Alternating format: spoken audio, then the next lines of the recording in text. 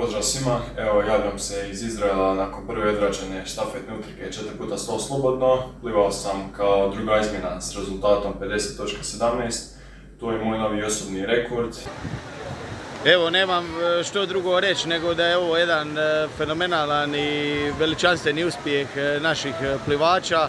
Znači, Vlaho Nenadić je dao veliki ombol, on je plivo drugu izmjenu, imao je najbrže vrijeme od svih naših plivača. Stvarno smo evo presretni, nije bolje moglo proći ovo otvaranje svjetskog prvenstva. E, Hrvatska je u finalu i evo, pored svih tih plivačkih vele sila, e, Amerike, Kine, Kanade, Australije, Italije, e, mi smo se uspjeli evo, plasirati u, finale i eto, ponosni smo do neba i što reći, evo, očekujemo to popodnevno finale.